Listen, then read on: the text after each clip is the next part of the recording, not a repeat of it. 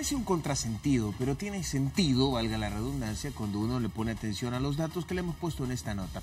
Le voy a decir la frase para que se quede pensando en ella. Buscar la felicidad puede enfermar.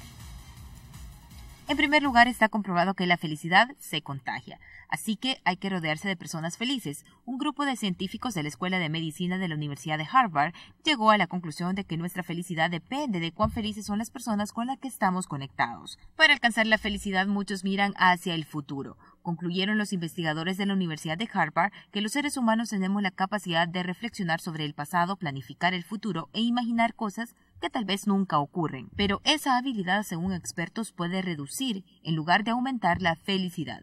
Así que dejar de planificar el futuro es una clave. Y si se pregunta si existe el secreto para la felicidad, la mayoría de los investigadores dicen que sí existe y aseguran que el secreto de la felicidad es algo muy simple y está al alcance de todos, pero que no depende de una meta en particular, sino de buscar activamente y experimentar el cambio como algo dinámico que se conquista en el día a día y que se relaciona con disfrutar el presente y valorar lo positivo que tiene actualmente. Para frente a la comunidad, Andrea Navas.